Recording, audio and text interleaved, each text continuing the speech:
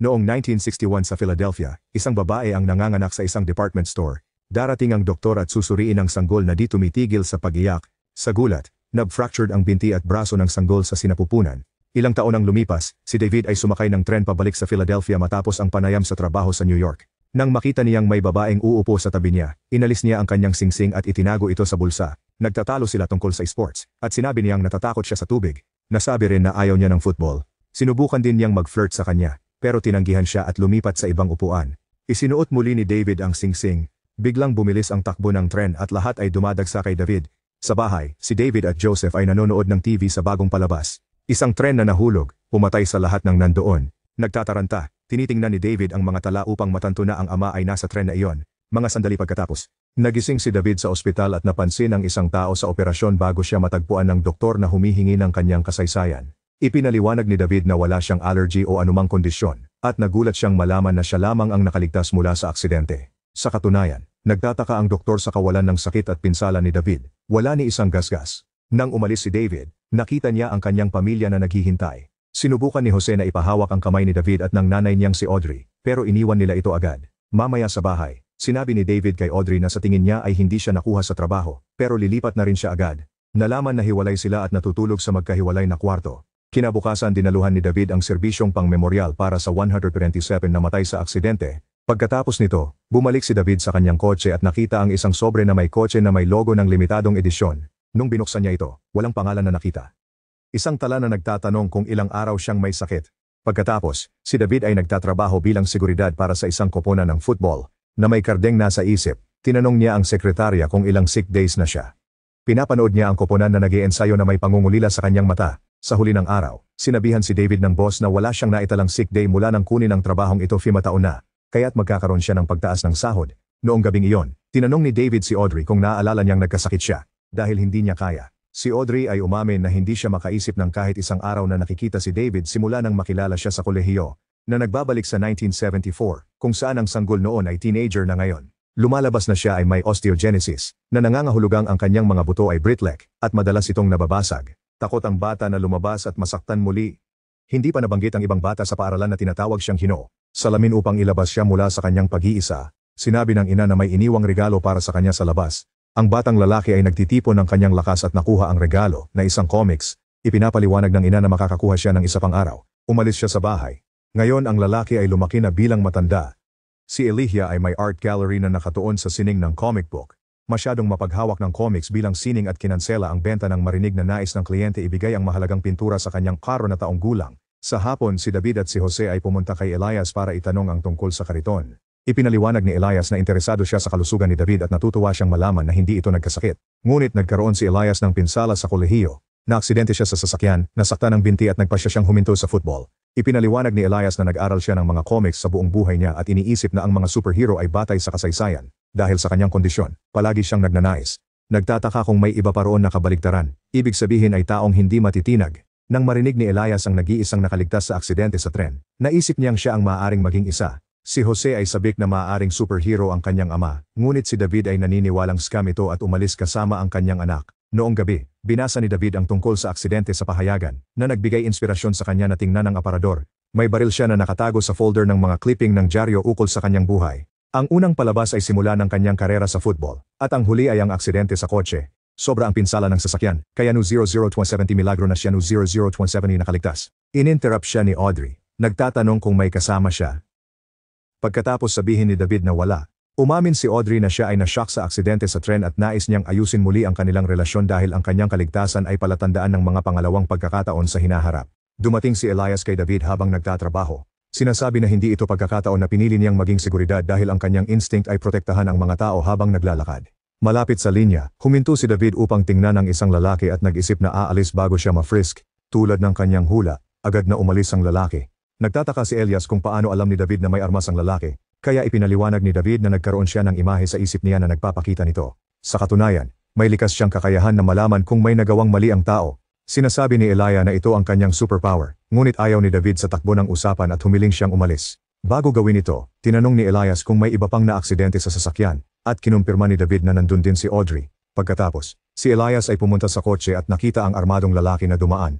Sinundan niya siya at tinanong maghintay, ngunit hindi siya pinansin. Sinusubukan ni Elias na bumilis.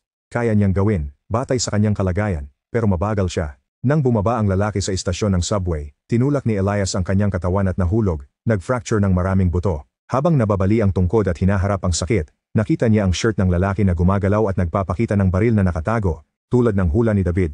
Pagkatapos ng laban, umuwi si David at nakita si Joseph na naglalaro ng football. Sinisigawan siya nito, sinasabi sa kanya na ayaw ni Audrey sa sport dahil sa mga pinsalang dulot nito. Nagpa siya si David na gumawa ng eksperimento at magbuhat ng weights. Sa simula, 250 lang. Ito ang pinakamabigat na kanyang naangat. Patuloy na nagdadagdag si Jose sa bawat subok hanggang magamit nila ang lahat ng bigat. Nais nilang matuto, nagdagdag sila ng ilang lata ng pintura, at si David ay nakapagbuhat ng 300 hours ng halos hindi nagpapawis. Sa ospital, sinabi kay Elias na siya ay may maraming bali, pero ang pinakamasama ay ang 14, sugat sa binti, nakakailanganin ng pisikal na terapiya mamaya. Pumunta siya sa physiotherapy kasama si Audrey at tinanong ito tungkol sa kasal habang nagkukunwaring gusto lang niyang makilala ang doktor. Nalaman niya na ang aksidente sa sasakyan ni David ang nagdala sa kanila, dahil hindi niya kayang tiisin ang sport at pinsalang dulot nito. Habang nagtatanong, aksidenteng nabanggit ni Elias si David at nagduda si Audrey. Ibinahagi ni Elias ang teorya, ngunit di alam ni Audrey kung ano ang iisipin. Sa isang laban, si David ay nagpasya na tumayo sa gitna ng tao, at tuwing may bumangga, nakakatanggap siya ng bisyon. Sa simula, ito ay mga boses ng nagwawalang bata, ngunit nakita niya ang isang lalaki na kahina-hinalang kumukuha ng bagay mula sa basura. May duda. Ginawa ni David ang lalaking huminto sa pila para hanapin siya, ngunit wala siyang nakita sa bulsa. Nagdesisyon si David na naloko siyang may kapangyarihan. Noong pagkakataong iyon, tinawag si David sa paaralan dahil nasaktan si Jose. Ipinaliwanag ng guro na nakipaglaban si Jose at nagtatanong kung naaalala siya ni David nang nag-aral siya doon. Sinabi niya ang kwento tungkol sa pagkakataon na nahulog si David sa pool at nahiga sa ilalim ng ima minuto. Nung hinila siya, patay na siya hanggang sa buhayin siya ng mga paramedic. Sa huli, binago ang mga patakaran sa pool dahil sa kanya, at ibinabahagi ng mga bata ang kwento bilang urban legend. Ang narinig na ito ay lalo pang nagpapatibay kay David na hindi superhero. Pagkatapos umalis sa paaralan, ipinaliwanag ni Joseph na nakipaglaban siya upang protektahan ang isang babaeng inuusig dahil sa lahi, at nais niyang maging bayani tulad ng kanyang ama. Sinusubukan ni David na ipaglaban na siya no 0, 027 may normal, ngunit hindi naniwala si Joseph. Nang gabi, sinabi ni Audrey kay David na sinabihan siya ni Elijah ng lahat.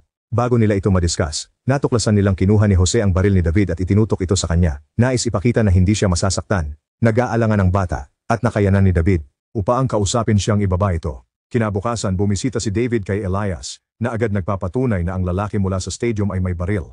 Iniisip ni Elias na hindi nasaktan si David sa aksidente, nagimbento siya ng kasinungalingan para makapasok si Audrey sa kanya. Ayaw ni David na guluhin si Elijah o ang kanyang pamilya at sinabi niyang nagkapneumonia siya bilang bata matapos halos malunod, na sapat ng katibayan para itigil ang usapan.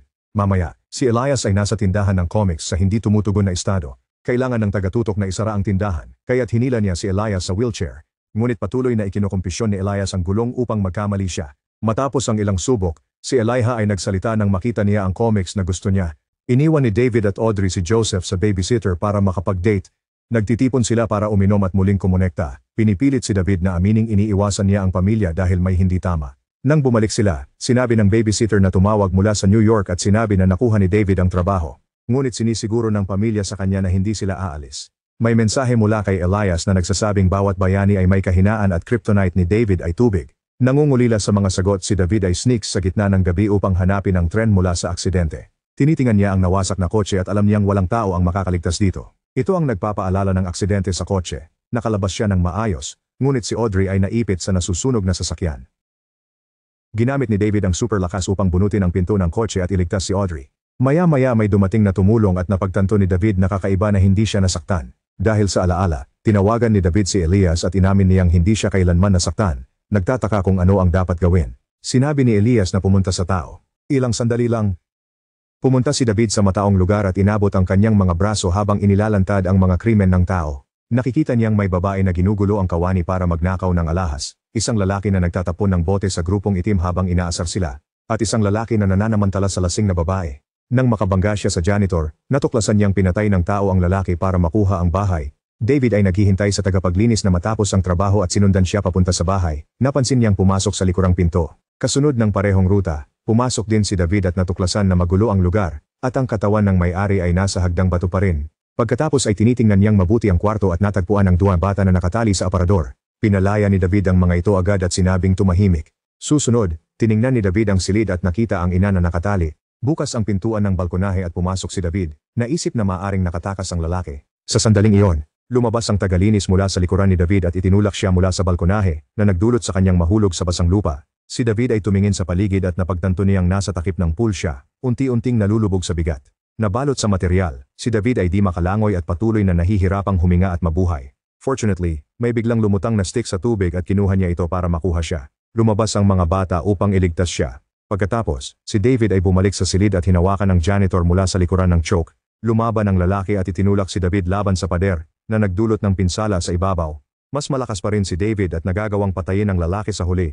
Pinapalaya niya ang ina, pero sa kasamaang palad, patay na ito. Noong gabing iyon, dinala ni David si Audrey mula sa kanyang silid upang matulog sa iisang kama. Ang pakiramdam na may mali ay nawala na. Kinabukasan, nakita ni Jose na ang mga magulang ay masyadong kumikilos. Mapagmahal na may isa't isa. Nang naabala si Audrey, ipinakita ni David kay Joseph ang pahayagan na may balita tungkol sa patay na janitor at ilustrasyon ng misteryosong vigilante. Kinumpirma ni David na siya nga, at humingi siya kay Joseph na itago ang lihim. Makalipas ang panahon, pumunta si David sa art show ni Elias at nakita ang kanyang ina, na nagsabi sa kanya tungkol sa dua uri ng kontrabida, ang lumalaban gamit ang kamay at isip. Narinig ng babae si David dahil tinawag siyang kaibigan ni Elias. Pagkatapos, sinundan ni David si Elias sa kanyang opisina at binalaan siya sa kanyang unang gabi bilang vigilante. Nag-aalok siyang makipagkamay, at nang nagkamay sila, nagkaroon ng nakakagulat na natuklasan si David. Matagal nang gumagawa si Elias ng mga aksidente para makahanap ng superhero, kabilang ang tren ni David. Nagulat, tumingin si David sa paligid at nakita ang plano at pananaliksik ni Elias. Ipinaliwanag ni Elias na alam na ni David kung sino siya. Alam na rin niya ang kanyang pagkatao, ang kontrabida sa bayani ni David. Tulad sa mga kwento, sila ay kabaligtaran. Ngunit minsan magkaibigan din. Marahil ang pangalan ng kontrabida ni Elijah ay si Ginoong Glass. Tinawag ni David ang pulis, at si Elijah ay dinala sa institusyon para sa mga kriminal na baliw.